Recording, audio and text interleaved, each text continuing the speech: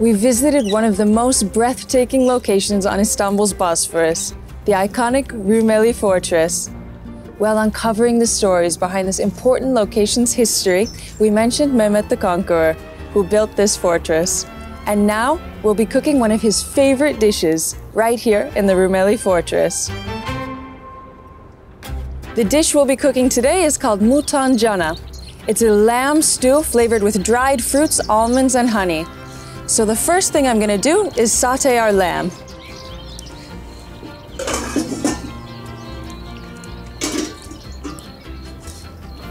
I'll just let the pan heat up for a minute or two to get some nice color on the meat. This video was filmed at a distance that does not pose a risk to any cultural properties. Instead of the flavorings used in modern Turkish cooking like peppers and tomatoes, in the Ottoman times they didn't have those ingredients, so they used things like dried fruits and spices to flavor their food. This dish also includes some pearl onions, so I'm just gonna get started peeling those just until our pan heats up.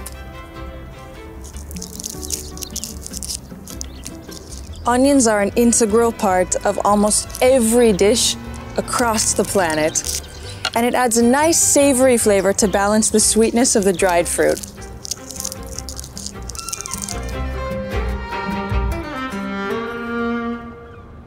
Now that our pan is nice and hot, I can add the lamb. Just using a little bit of olive oil. In Ottoman times, the most popular cooking fat was actually butter, but today I'll be using olive oil, which is also traditional. When you hear that sound, you know your meat is gonna be good.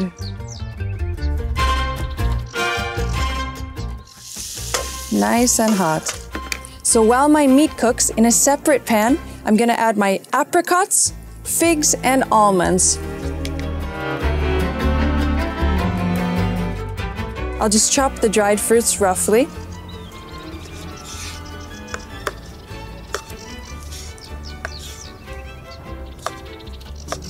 This dish uses a variety of dried fruits. I have figs, apricots, raisins, and dried plums.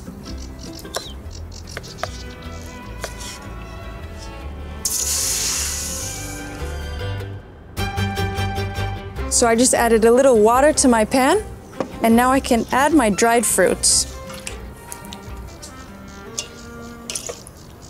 In addition to the chopped apricots and figs, I'll also add my almonds to the second pan.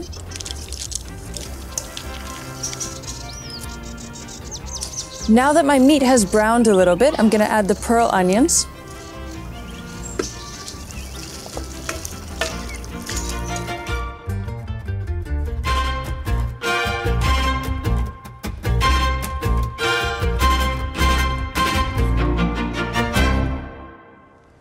And now I'll add my dried plums and raisins into the meat. And some honey for some extra sweetness. And a little water.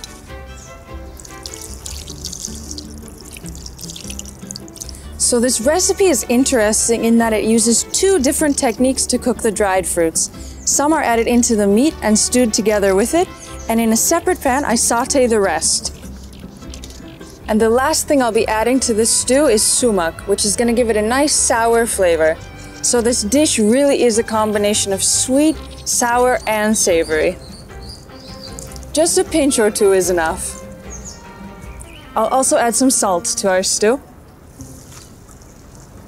One last stir. And now I'll put the lid on and let it stew for about 45 minutes.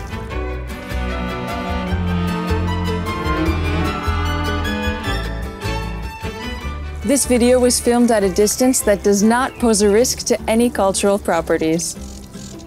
Now my dried fruits and almonds have been cooking for about 10 minutes and the water has been absorbed and the fruits have softened, so I'm going to take it off of the heat. So while my lamb is cooking, I'm going to make a classic Ottoman style bread to go with it.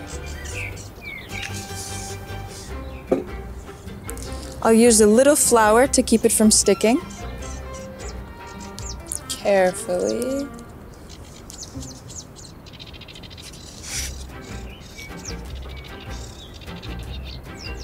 So Ottoman bread usually consists of a variety of grains with some seeds and spices either mixed into the dough or on top.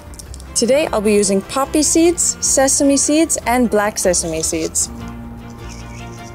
I just love the nutty flavor of sesame seeds on my bread. Now into the oven. Now I'll add a small dish of water to the oven because the steam helps the bread cook properly.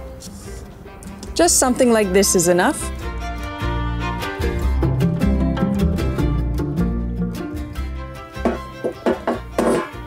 And now I'll just let the bread cook for 15 or 20 minutes.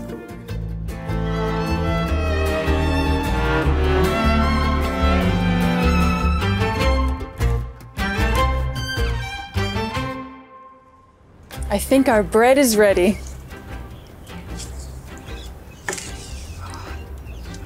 It looks amazing. Look at that. Mm. My lamb has been cooking for about 45 minutes and most of the water has evaporated. So, I think it's time to clean up my table and then we're ready to serve. This video was filmed at a distance that poses no risk to any cultural properties. We're ready to serve. So I've got my beautiful stewed lamb, my fruit and nut topping, and all I need as a finishing touch is a little bit of thyme.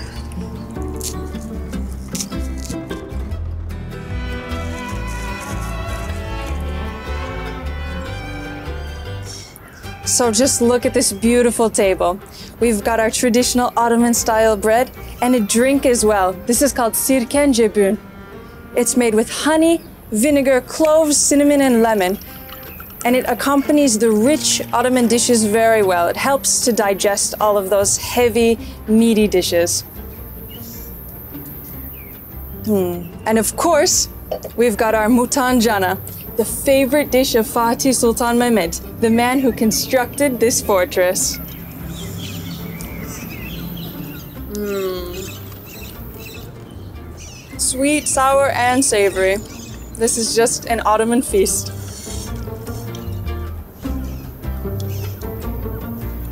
We hope you enjoyed our explorations through the history and flavors of the Rumeli Fortress.